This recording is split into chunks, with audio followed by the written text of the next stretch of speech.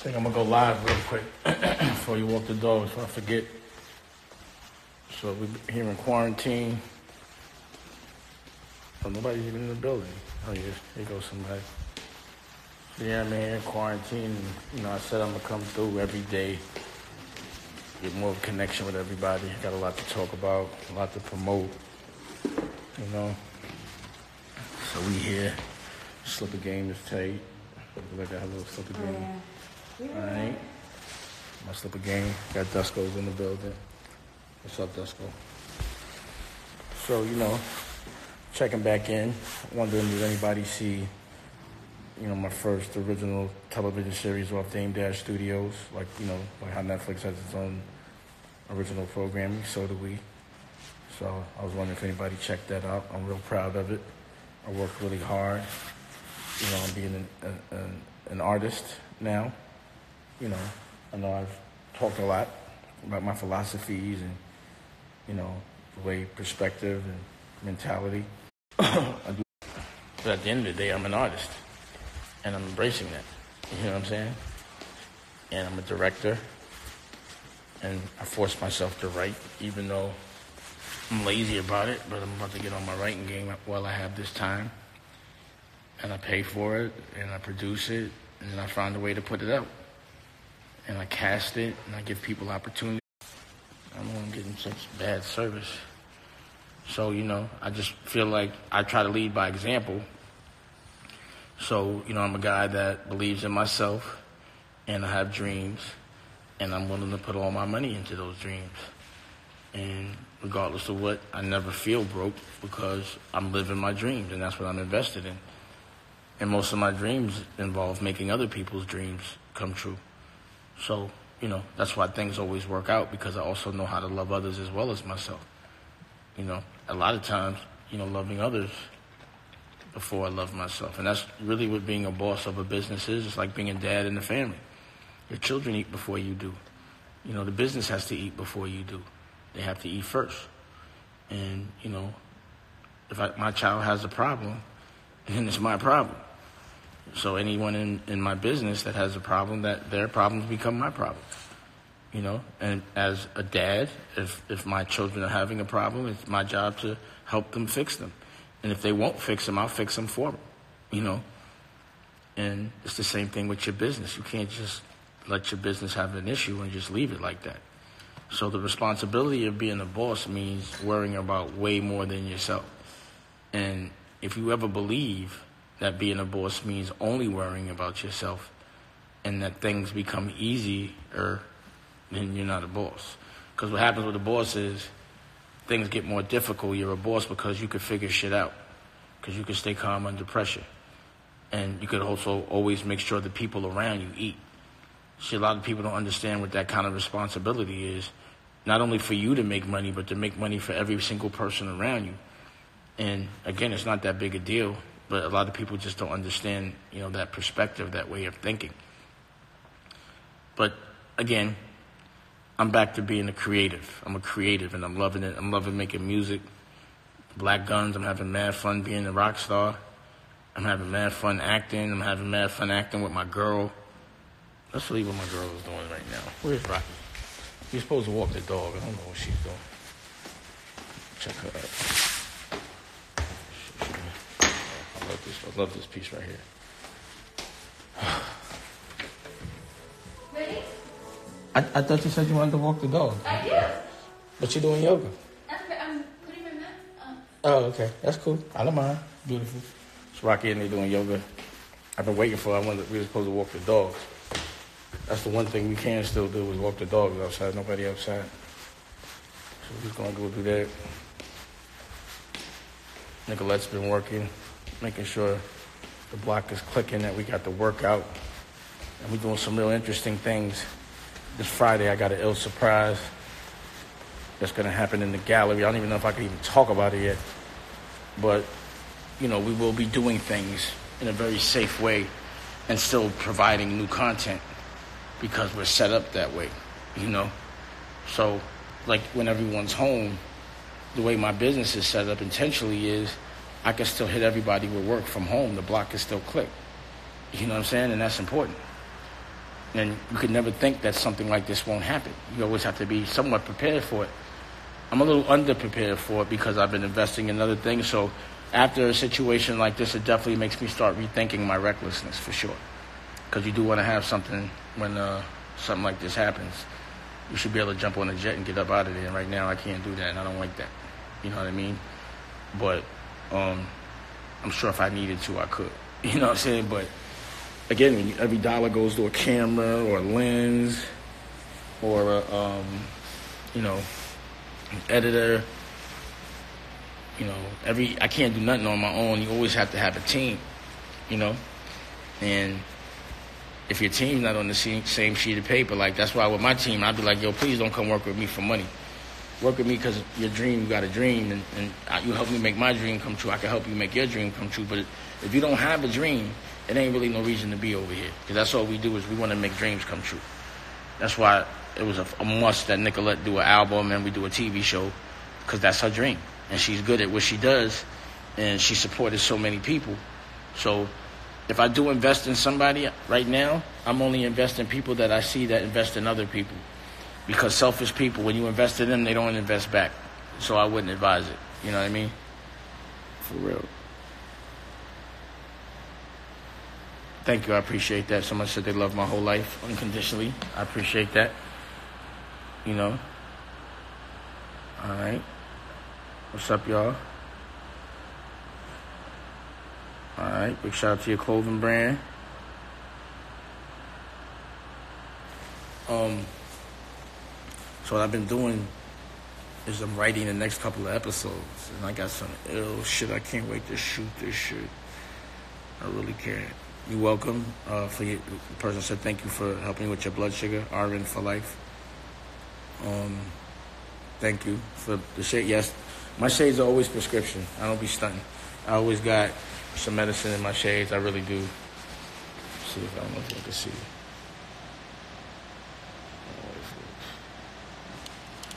That's how life looks in, through my lens. You know. I like things rosy today. I want to see red, rosy. You know what I mean? So I'm still waiting for Rocky to come so I can go walk the dog. The dog is chilling. You guys are bored? What y'all bored about? This is my board meeting. I'm having a board meeting with the dogs. You feel me? Y'all see everybody? I'm talking live, y'all. Dog's bored. So, uh, yeah, we have other series coming out. Um, Nick at Night is a TV show that's coming out. Uh, Therapy is coming out, which is about the album. We got um, Healing is Gangster. The whole series is coming out. Big shout to Taj. We have um, the Yacht Squad, you know, Sunday Sunday uh, concert. And Bishop's always dropping jewels. Big shout to Do It All as well for bringing us together. Um, we got uh, we got Billy Carson, Forbidden Knowledge and his shit gets deep, and we're developing some old Star Wars shit. I can't wait to drop that on y'all. And uh, we got Health as well. Raquel, she gets like a she has like a whole network full of yoga. Then we got America New, just appreciating beautiful women in a very artful, tasteful way. You know, a lot of it is shot by Raquel. Shit is dope. Um, we got We Went To. That's like our Anthony Bourdain run around the world, get high, make music with cool people, trying to find like-minded. So we went to like Thailand, Jamaica, China. We went all around. We had a ball. Uh, we did that a couple years ago. Well, recently we just went to Hawaii, so that was cool. We did it. We went to out there. Um, and uh, so much other stuff, you know, a whole lot, a whole lot. So we're just developing franchises, really. So everything you're seeing now you know, it's almost like I don't want to call it a pilot, but those first episodes, you know, those will be the worst episodes. Everything's going to get better, even though it's dope. Like, I'm really proud of everything that we've been doing. You know, we got Tori Hart and Memphis Will, and they're, they're, they're hilarious. They're pretty funny. Um, Elizabeth is in, uh, in, uh, Elizabeth is in uh, Dress to Kill as well. Tori, you know, young Charlie. He's in there from Harlem, the Queen of Harlem's son. I guess that makes him the Prince of Harlem, right? Pause. And uh, and uh, you know, it's cracking. And we making music, we showing live performances. I'm gonna just let off some. I'm, I'm gonna show y'all some shit we've been shooting because people can't go out for a little while, right? They can't go to shows, so we gotta continue to give them. Like music is the, it, it, it cures anything that's bothering your soul. You know, that's why music always thrives somewhat in a recession because it gives you that escape. I know what it does for me. So the world, I think, needs music. You know, live music is so important to me. I love looking. I love watching live instruments, and you know, that's the appreciation I have for for live instruments. Is the appreciation I'm trying to bring to hip hop. That's why I've been doing these projects that involve complete live instrumentation. And I love hip hop, but I just love looking. I like instruments, you know, and I think uh, if we had more interesting shows, it would stimulate the uh, you know more people going to shows and festivals and shit like that. But now people can't even. A lot of people can't be in one place.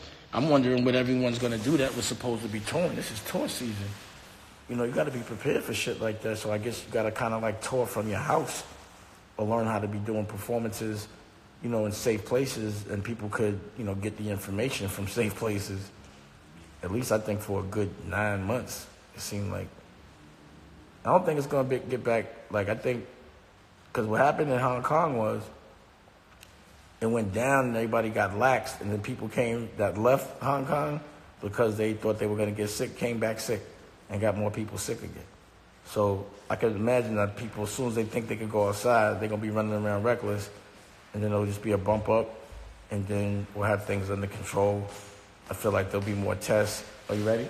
Yeah. Woo-wee. That's that yoga, yoga, yoga. And uh, the dog is following. me. Why you following around? That's my girl. She's like we looking like a big wolf, right? And um, so I feel like May, and then you stay in a little. You know, I'll still be ginger, maybe till like oh, July, August. You feel me? And by the time I have a medicine or a serum, but big shout out to anybody that's fighting this thing. And everybody, please stay safe. And right now is the time to just be responsible. If you ain't worried about you, worry about the people you love and what you could bring home to them. So don't go outside. It don't make no sense. I'm chilling. I ain't gonna lie. I've been enjoying this. It's like a little vacation. You know what I'm saying? We open up the country sooner than months. It's not enough time. See, the thing I'm afraid of is everyone's so afraid that the economy is to fail they're like, nah, go back outside because that's what's going on right now. And, you know, no one could agree on that stimulus package to save everybody because they want to make sure small businesses uh, get it before the big businesses, or at least it's fair. So, you know, that's what's happening right now. But it's going to have to be a bailout, you know, because a lot of this is because of poor governing. You know, we should have had those tests. You know what I mean? And all that shit that got dismantled that Obama had, he had an army ready for this, but homie dismantled it, from what I understand. You know what I mean?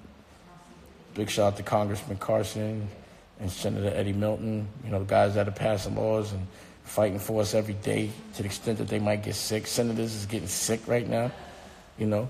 And that's another thing is you can't vote because you can't vote. That you got to be there to vote. So they don't have a system where you can vote off site. You got to be there. I was like, man, you might want to get the voter, the shit, the same people that they use for elections, to do that shit from the house or something. Shit, shit got to go on. Like, I mean, you know what I mean? Kismeter, thank you. Uh, somebody else, yeah. Boeing was doing buybacks and now they want money. I mean, bro, they shut down. Imagine the hotels, hotels, clubs, airplane, vacations, cruise ships, movie theaters. Oh, Like food is still gonna go for now, you know, because you could get takeout.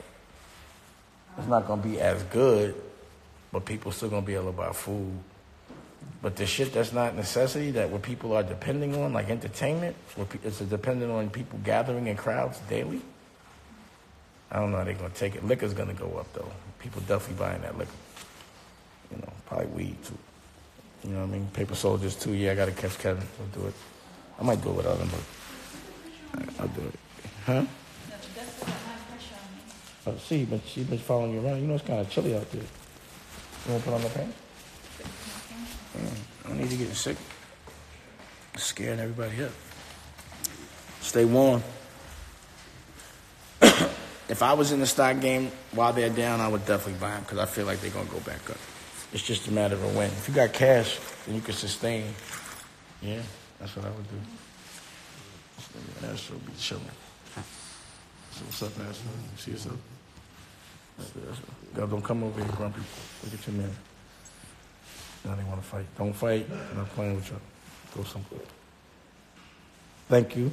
Uh, Mastermind Queez, he said Honor Up was a great movie. Thank you. And that's another thing. That was another original movie that we did independently, put it out in theaters, came out distributed through Lionsgate, and now we can show it on our streaming service. You know, I'll start licensing it to the HBOs and the Showtimes of the world very soon. But I just feel like, you know, I want to showcase things on my platform first. You know what I mean? And why not? And, you know, I'm not worried about right now, you know, hitting the masses. I just want to talk to the people that are checking for me, you know, because I know they're going to tell everybody. But by the time everybody gets here, I'll have shit clicking. I'll have things rocking. Oh, you want to be my twin? It's my little man right now. I'm wearing your hoodie. If you're looking for it. I wasn't looking for it, even though I got, I got this one. We going out like twins. You know, it's the love boat over here. That's how we do.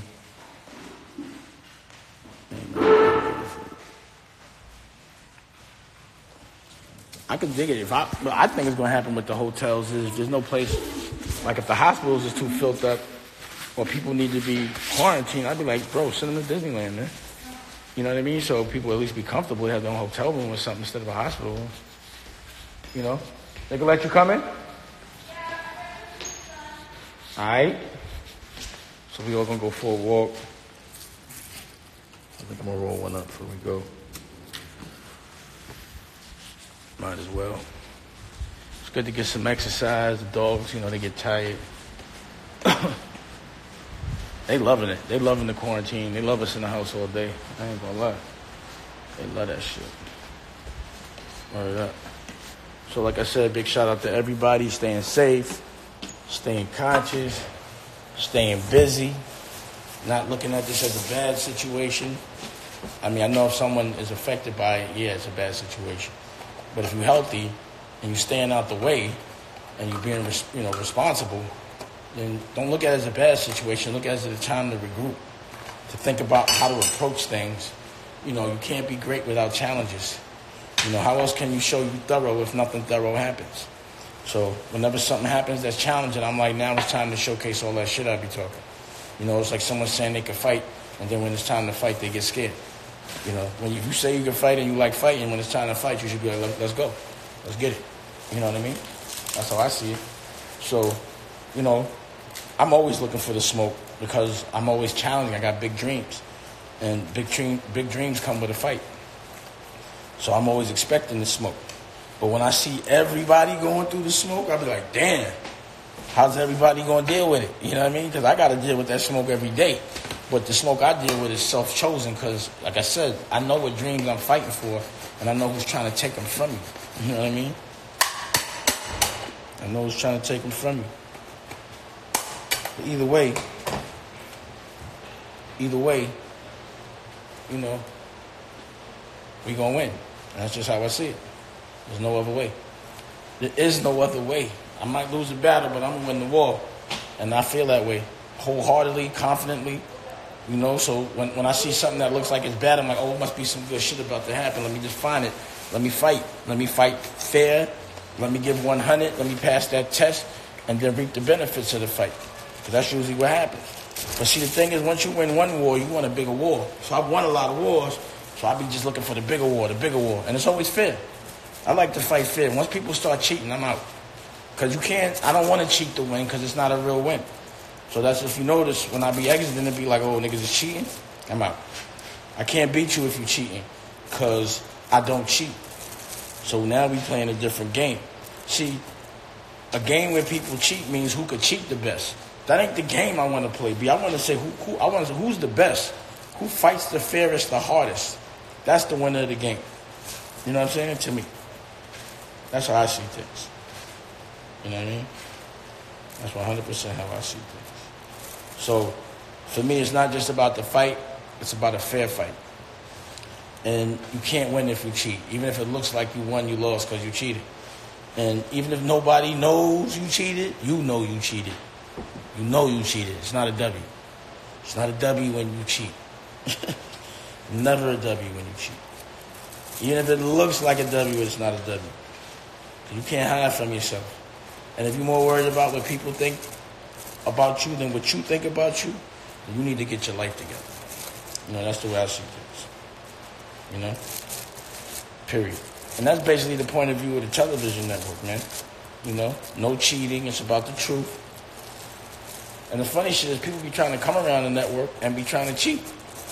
And every time I catch somebody cheating, they say I'm the cheater. And that shit be bugging me out. How the fuck I'm cheating in my own game? I made the game. It's my house. I'm not cheating. I ain't got to cheat. You know? It's not a W. Not a W if you cheat. So anyway, now I'm the late one. You know? She probably went downstairs already with the dogs. You feel me? That's what she probably did. I feel like this might cut off when I walk out, but maybe it won't. Let's see what happens. Let's see what's going on. Let's see what's going on. Yep, they left me. Oh yeah, if I go down there, I think about bad connection. All right, y'all. I'm gonna check back in later. Check Dame Dash Studios. Check the content. Thank you. Oh, that's a girl. Also. Yeah, if it's raining, I'm not going out. But thanks for uh, kicking it with me for a little while. I appreciate it. Oh, but Strand's always OG. I was, that's that King Desco. It's not King Desco. I'm not gonna front, but um, I ain't got none of that right now. But it's definitely OG. It's definitely OG. All right. All right, y'all. Thanks for thanks for thanks for hollering at me. Thanks for listening. Shout out to Oklahoma. I see a shout out there. You know, Tracy Lee. That's the rapper Tracy Lee? No. I don't know who that is. Anyway. Yeah, there should be some free like Harlem in the building. Easy vegan, yeah. Alright. Appreciate that, the GOAT thing. I appreciate that. Boston, Massachusetts. Yeah, if we get, if we get, let me see, because I think we might, might come over here.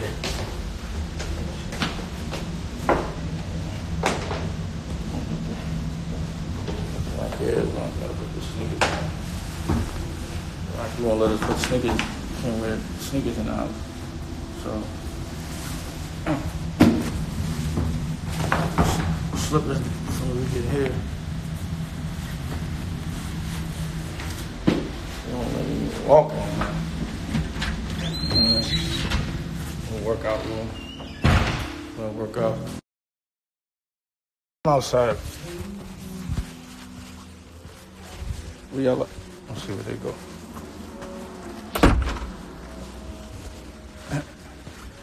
Let's see.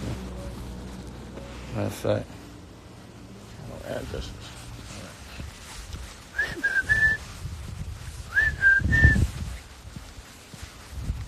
Let's see where Rocky's at. Got the dogs. Damn, they all the way over there with the dogs. They just left me. They over there walking the dogs.